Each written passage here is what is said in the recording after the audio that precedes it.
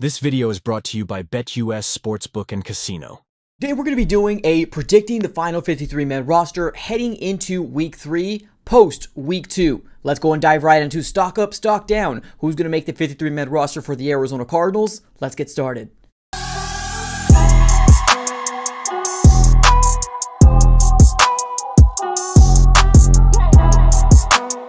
On everybody. Welcome back into another video. Definitely do me a huge favor. Smack that like button and subscribe for more arizona cardinals content. On this channel we cover everything arizona cardinals news breaking news conversational pieces everything surrounding your favorite team. So subscribe it up. It's absolutely for free. Huge shout out here to betus the sponsor of the arizona sports fan throughout the entirety of the nfl season. If you're looking for a brand new sports book betus is the way to go. Currently right now they do have a 125% sign up bonus up to two $2,000 on your first three deposits, and they got the fastest payouts in the entire industry. Check out BetUS. The link is in the description below. All right, everybody, let's go and dive right into it. Let's go ahead and try to predict the final 53 man roster for the 2024 Arizona Cardinals. Now, this is post week two of preseason. Of course, there's some players that have their stock up, stock down, and we're going to go ahead and dive right into what I feel like is best for the 2024 Arizona Cardinals. Let's get started here. Now, I want the Arizona Cardinals to only carry two quarterbacks I want the Cardinals to carry obviously Kyler Murray being QB1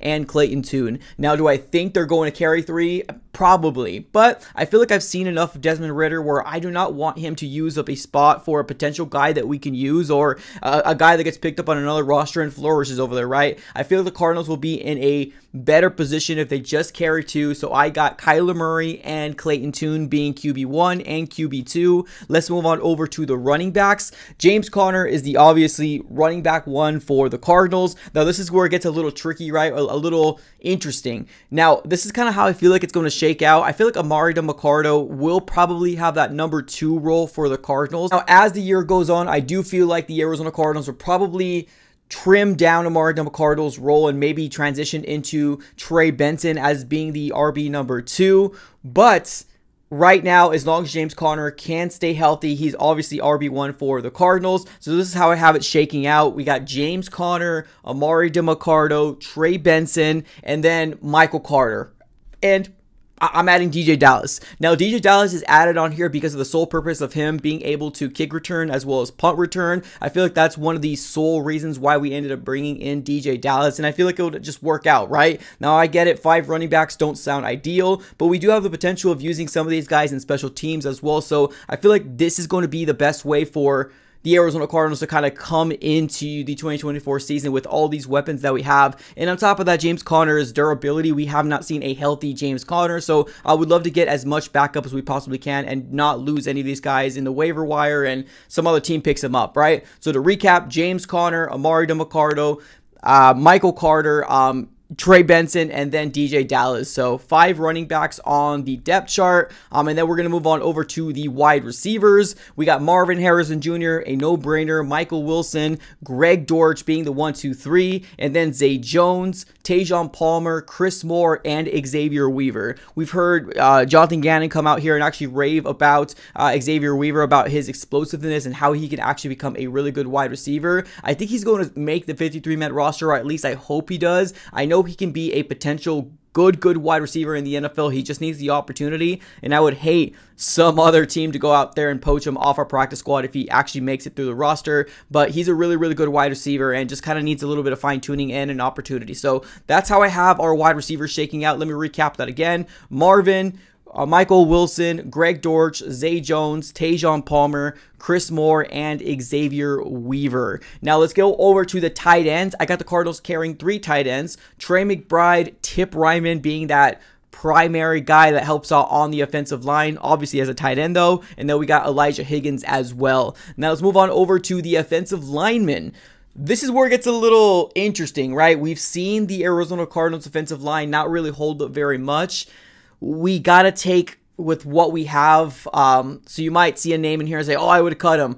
The Cardinals are not in a situation where we can cut people, right? We're not in that situation. So this is who I feel like the Cardinals are going to bring over, right? So it's going to be Paris Johnson Jr., um, Evan Brown, uh, Froholdt, Will Hernandez, and then Jonah Williams being the the top five uh, offensive linemen. Um, and then after them, Kelvin Beachum, Isaiah Adams, uh, Christian Jones, and then Elijah Wilkinson. Now, the names that I mentioned towards the end, uh, Isaiah Adams and Christian Jones, they've struggled a lot in preseason. I'm not going to lie to you, but we do need as much depth as we possibly can, and maybe they can develop to become a really good offensive lineman, right? Maybe they just need to put a little bit more muscle. Maybe they just need to kind of redefine their technique, but they are seen to be really good players coming out of the draft. As of right now, they're not going to be starters, which I'm glad for, but that's kind of how I feel like the O line position is going to shake out. Now let's move on over to the defensive side of the ball. Let's first start off here with the outside linebackers. Uh, of course, we got Zaven Collins and then Dennis Gardeck being that number one and number two.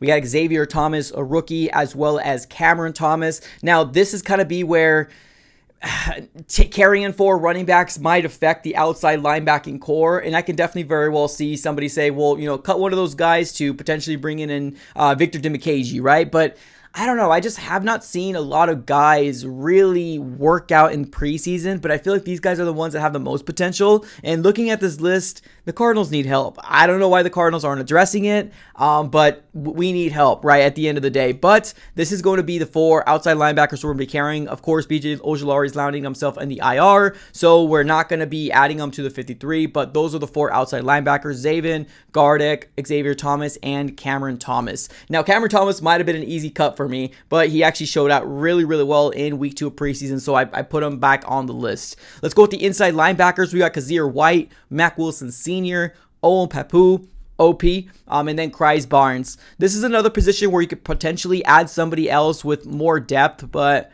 I don't know. I'm going to keep it at four and kind of see how it goes. As long as they can stay healthy, Kyzir White and Mack Wilson Sr. are going to be the primary guys to get the, do- the job done right on the inside. Let's go into defensive line. We got Darius Robinson, uh, Justin Jones, Dante Stills, Bilal Nichols, uh, Tonga. Uh, and then Roy Lopez. We've had a lot of raves about uh, Roy Lopez in preseason. I believe we only saw him in week one. I'm not 100% sure that he was available in week two, uh, but there's definitely a lot of high praises from this coaching staff. So this is how I feel like it's going to shake out with the defensive line.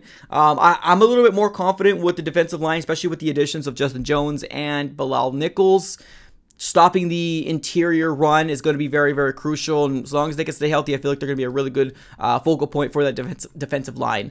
Let's move on over to the cornerbacks. Sean Murphy Bunting, Max Melton, Garrett Williams. That's one, two, three. Um, and then Elijah Jones, Kei'Trel Clark, and then Starling Thomas the fifth. Uh, there is another rookie that we ended up getting um, in the later part of this draft, Davis. I don't think he's going to make the roster. I don't think we've really seen very much of him in training camp and or in preseason. So I feel like this is going to be the way that it shakes out. I'm confident in our uh, cornerbacks. Of course, I would be a lot more confident if we had more of a pass rush, but these are the cornerbacks I feel like we're going to be rolling with. Sean Murphy Bunting, Max Melton, Garrett Williams, uh, Elijah Jones, uh, Kei'Trel Clark, and then Starling Thomas the fifth. Let's move on over to the safeties.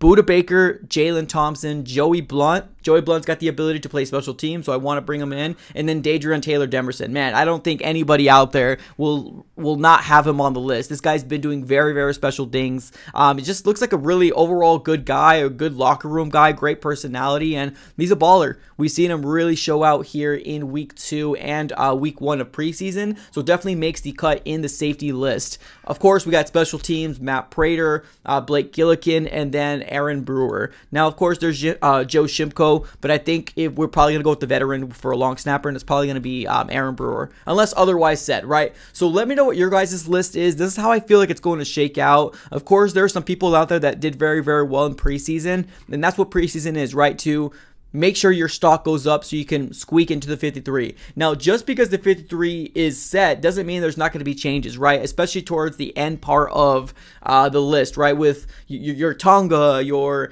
um, your Kei'Trel Clark, right? Any of those guys here in the bottom part of the list, a lot of things can be changed. Do I see the Cardinals potentially going after somebody in waivers? Yeah, absolutely. We're not the only people that are cutting our roster down to the final 53. There's still 31 other teams doing the same. So I could potentially see the Cardinals going after some other players that other teams pick. But the biggest highlights, I want to carry two QBs. I feel like just carrying having that open spot with not having three QBs is very, very crucial. And as long as Kyler can stay healthy, you have to worry about the idea of QB3, right? So I would rather allocate that spot to a different position running back, wide receiver, offensive line, um, edge, right? Just kind of really depending on where you think it's going to land. So, ladies and gentlemen, what are your thoughts here in the comments below? Is there any player that I didn't mention here? Let me know who you want to make the 53. Put it in the comments below. I appreciate y'all for tuning in as always. Have a great rest of your day and go cards.